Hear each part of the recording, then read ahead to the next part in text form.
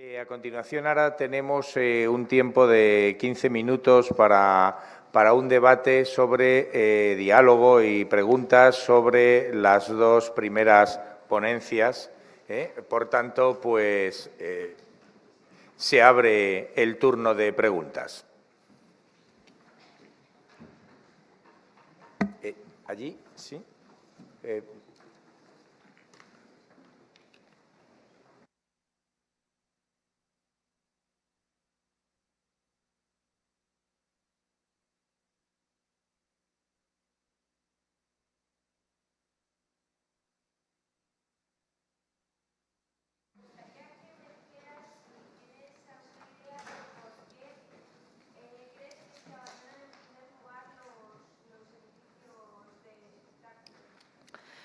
A ver, em, yo lo que mm, refería, a ver, depende de, muchas, de muchas cuestiones, ¿no? Pero sí que es cierto que em, se alude muchas veces al tema del cristianismo, ¿no? digamos, el papel que tuvo el cristianismo en el abandono de ciertos espectáculos. Yo no voy a negar en ningún caso el papel del cristianismo. Lo que está claro es que en el abandono, por ejemplo, de los teatros eh, no tiene mucho que ver cuando estoy diciendo que eh, a finales del siglo II muchos están abandonados.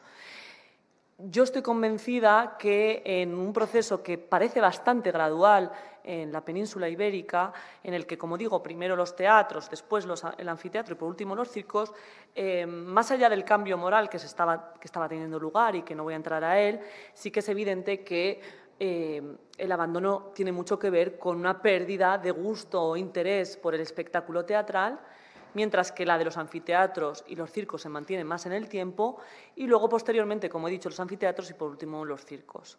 ¿De acuerdo? O sea, que yo personalmente cuando veo en ciudades más o menos eh, con una situación económica buena, eh, que son capaces de restaurar un anfiteatro como Tarragona, eh, apenas un par de décadas más tarde, creo de verdad que es que simplemente ese teatro ya no se utilizaba, se había perdido el gusto por él, la gente no iba y acaba siendo un espacio sin uso.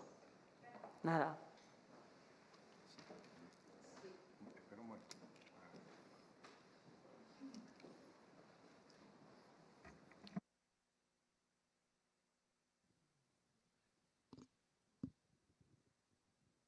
Sí.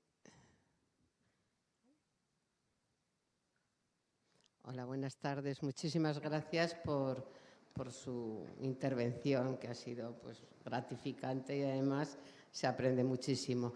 La pregunta es hasta, eh, hasta qué punto el cambio arquitectónico eh, tiene que ver con la eh, demostración hegemónica de, de, unos gobiernos y de una implantación de un nuevo sistema.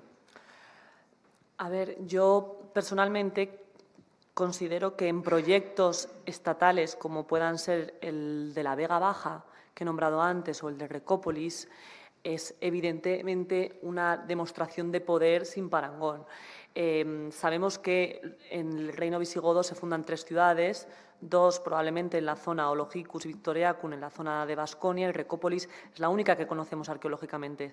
Pero si usted ha tenido la posibilidad de pasear por Recópolis o de conocer el yacimiento, es una, una construcción que pretende mostrar un poderío eh, sin duda alguna. Lo que ocurre es eh, que lo que llama la atención es que ese poderío lo vemos muy bien en Recópolis, lo vemos muy bien en Vega Baja, pero en el resto de las ciudades de la, eh, peninsulares lo vemos casi siempre asociado a la figura del obispo, a la figura religiosa, ¿de acuerdo? Y no tanto al proyecto estatal como le estaba... Dígame, sí. Pero también de poderío. Sí, sí, por supuesto, por supuesto. Sí, sí. Eh, eh, la relación. Creo que no, no, creo que sea baladí el hecho de que eh, el Palacio del Comes en Barcelona está situado justo al lado del Palacio del Obispo. O sea, probablemente trabajaban muy de acuerdo en el poder y en el gobierno de la ciudad. O sea, que, que, lo, que lo, lo que simplemente llamó la atención en el hecho de que Hoy por hoy, a lo mejor dentro de 20 años la situación cambia completamente, pero hoy por hoy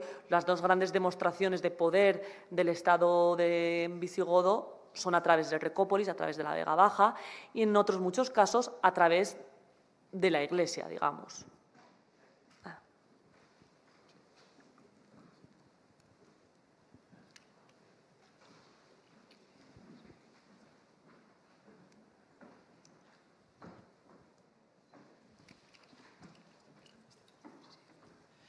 Buenas tardes. Buenas tardes.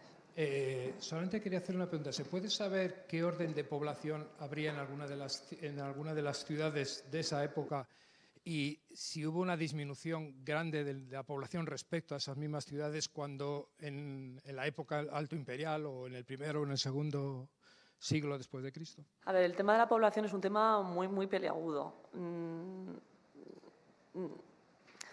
no sabría qué decirle. O sea, se, puede encontrar diferentes propuestas, pero eh, los motivos por los que se hacen son a veces discutibles. O sea, el tema de la población es muy complicado.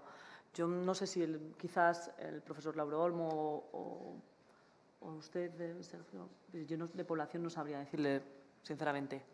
Mm, lo siento. me sumo, me sumo a lo que o sea, dice. Le he pasado la pelota porque la verdad es que.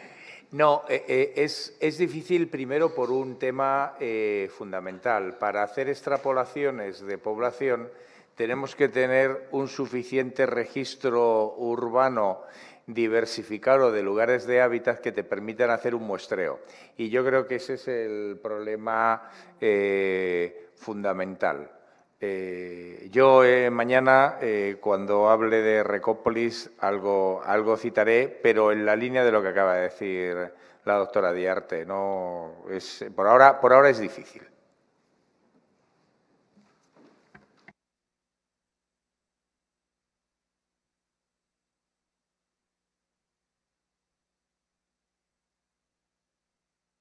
Que calcular, pero por ejemplo en el caso de Toledo sabemos bien la población de la evolución de esa ciudad, ¿no? que tiene una topografía muy característica. Vamos, en el momento, digamos, de máxima población, pues en el Felipe II, Carlos I, estaríamos hablando de 20.000, 25.000 personas. Y luego tiene picos de bajada que está entre 8.000 y 10.000 personas, que es lo que tiene ahora mismo, parece ser, que tampoco lo llegamos a saber claramente, el casco, ¿no? el casco histórico de Toledo. Pues estaríamos en esas ratios, ¿no? seguramente en época alta imperial cercana a los 25.000, época visigoda, 10.000 personas ya estaría bien en ese Toledo a partir de Atanagildo, ¿no? Leovigildo y Recaredo. ¿no?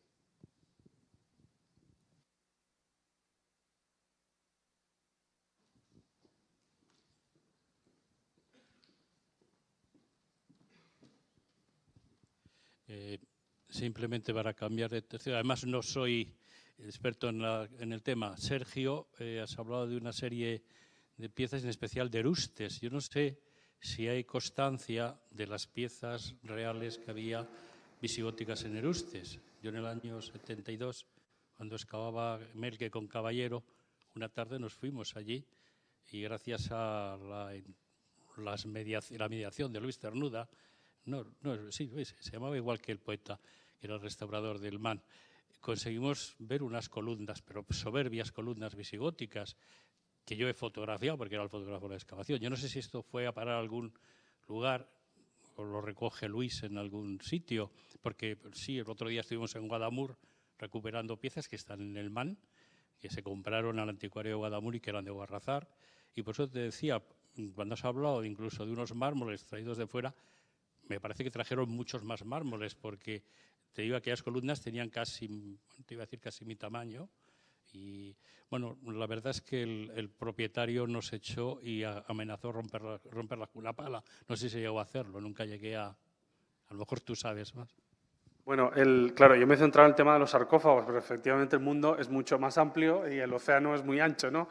Y, estamos hablando pues, de columnas, capitales, etcétera, todo un tema de elementos. Claro, en el caso de, de es decir, además de esos fragmentos, eh, yo me he centrado específicamente en lo que es el sarcófago y ese hallazgo puntual en ese domicilio.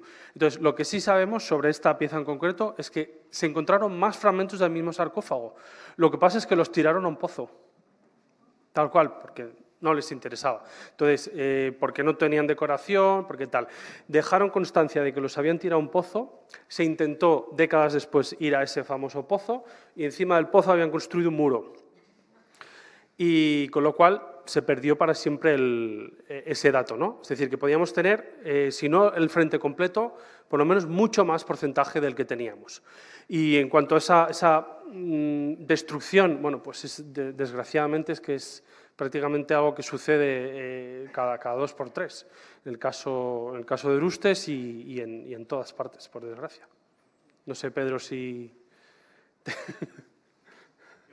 Le digo el sarcófago, ¿eh? hablando del sarcófago, porque claro, en Erustes, por supuesto, hay mucho más material, que ya, pero que queda fuera ya de lo que es del ámbito de la, de la escultura, ¿no? en este caso funeraria. Y lo que comentabas de, de, de Guadamur, o sea, de, las, de Guarrazar, efectivamente, se trajo aquí, igual que se trajo también la lápida de Crispín, eh, pero ya en el siglo XIX, y que es lo que parcialmente está expuesto y pueden, pueden ver en la, en la sala 27. Otra parte lo tenemos en la reserva, pero efectivamente parte de esos fragmentos recuperados son lo que está, está expuesto de Guarrazar. Sí.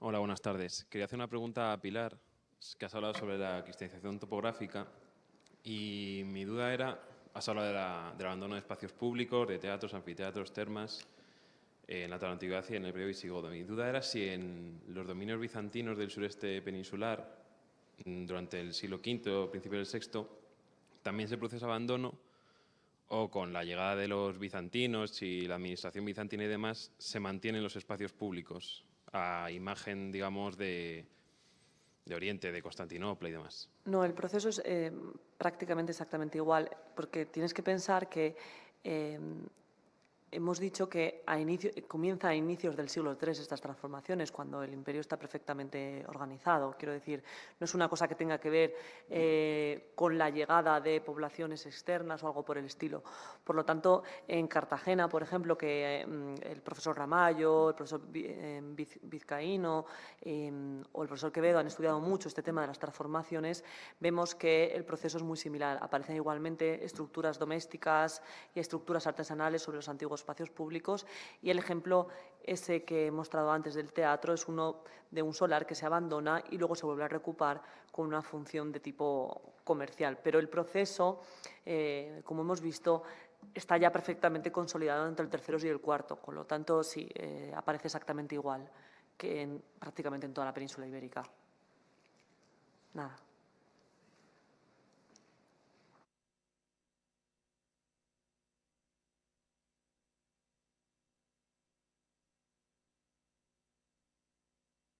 Vamos a tener una pausa de 11 minutos, lo que quiere decir que a las cinco eh, y media eh, continuaremos con la siguiente ponencia. Muchas gracias.